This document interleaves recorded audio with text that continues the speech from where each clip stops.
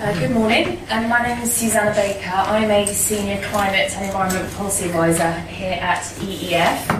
Um, and I'm really delighted to, to, be here to mark the, the, launch of the dashboard and that you decided to launch it here at EEF HQ.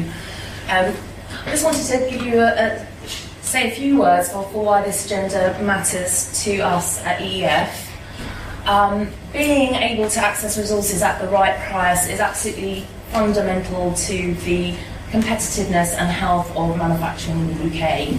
And in 2012, we surveyed executives in our membership to find out what they perceived to be the external factors which pose the biggest threat to growth. And in the midst of all the financial turmoil that was uh, occurring at the time, and still is, there was access to materials that topped the list. 80% of our members said they perceived it to be um, a threat to growth. For one in three, they saw it as being their top risk, which um, surprised us somewhat. Um, and this year, even though prices have started to stabilise, um, we're still seeing access to, to materials um, factoring uh, in the top five of potential threats to growth.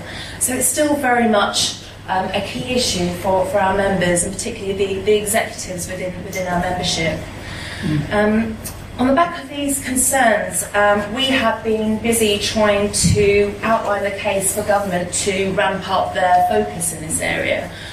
And in 2012, we convened um, a group called the Material Security Working Group, uh, another group. I, I, know there's rather a lot in this space, but this was formed of uh, manufacturing trade groups um, and other experts in this area. And we're really focused on how we could um, strengthen the resource security action um, plan. Um, so it had a longer term focus and really an ambition that matched those um, or that of our manufacturing competitors. And I'm really thinking here people like Japan, Germany, and the States have responded really strongly to this agenda and continue to do so. Uh, we very much think that um, government still has a role here to um, mitigate um, some of the risks um, around um, material um, security, to facilitate and coordinate, and to start to break down some of the market barriers that our members face when they are trying to respond to this agenda. Um, but our survey data was a, a wake-up call that you know this this is an agenda that, that still matters to, to manufacturers. Um, companies that recognise it, we think, um, can, and start to begin to shape their business around these risks, can not only begin to carve out new opportunities, um, but as the publication of the Next Manufacturing Revolution um, showed, um, can start to add considerable um, strengthening of, of, their margins. Um, the next manufacturing revolution showed that resource efficiency, which included circularity, um, could add 12% to um, manufacturers' profit margins. Um, so we're very much setting the case for, for moving away from thinking about labour productivity to resource productivity. But in order to do that, we really need solid and up-to-date information in what is an extremely dynamic uh, situation. So the resource dashboard should certainly go some way to help um, provide that.